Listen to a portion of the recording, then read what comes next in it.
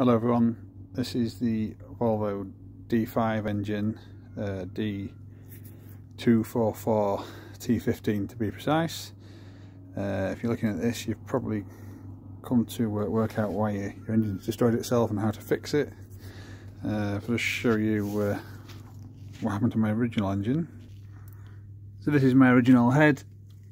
For whatever reason it might have happened to yours but the timing will slip um, and then you find that the uh, pistons hit the valves and the valves have got this sort of fixing casting should I say which sits uh, underneath the rockers and they all smash off. Um, so you, you, end up with a, a, cylinder head full of broken parts that sort of rattle around uh, and it destroys the actual casting of the head so you've got to send that back.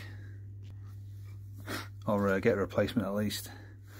Uh, luckily I spoke to the, the guys at Autotech Heads They've supplied me with a refurbed head and so hopefully I'm going to show you how to set the timing up.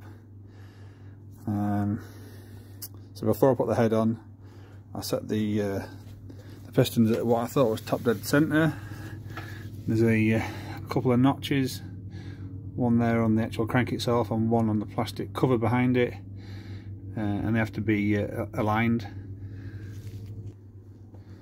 So I've sent some of these uh, timing locking pins. One of them unfortunately you have to remove your starter motor for and it lives down there. Um,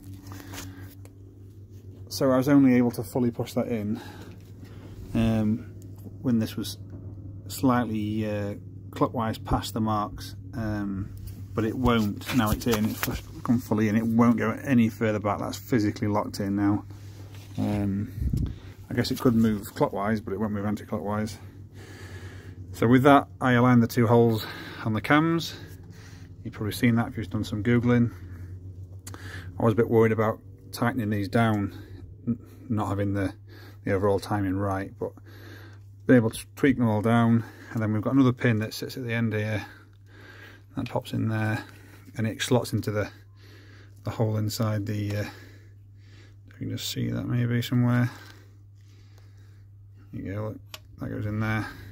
So they're locked, and so I've uh, I put the pull pulley on temporarily just to lock them in, and they are going nowhere. So that is an engine that is locked mechanically in place. Uh, and the next stage is to put the uh, the belt on, tension it up, and then take the pins out, and the timing should be uh, should be set, and it should be ready to go. And I can start the uh, rebuild process.